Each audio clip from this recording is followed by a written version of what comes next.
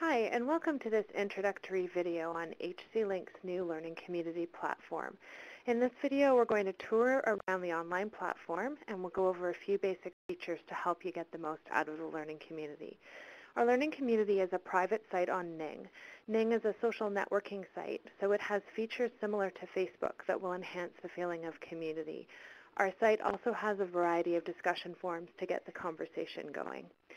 So to begin, you can sign up in the top left-hand corner of your screen, and you might want to set your internet browser to remember your password so that you don't have to log in every time. There's also a forgot your password feature in case you do need to uh, reset your password. On your home page, you will see a summary of what's going on on the learning community. You can see what's going on in the discussion forums and also what activity is going on, such as who has joined the community. Under the Members tab, you can see everyone who is a current member of the learning community. And you can click on their profile to learn a little bit more about them. You can add them as a friend, you can send them a private message, or you can write on their comment wall. On the Discussion Forums tab, you'll see that we have a few discussions set up right now, and these are really just a place to ask questions, share ideas, and generate discussion. You can comment on existing forums or you can start a new one.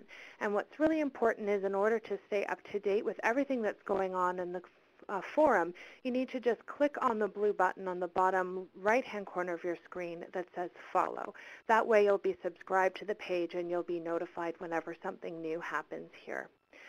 So you can either comment on an existing forum by clicking on the title of the forum and just typing in your comment and clicking the reply button.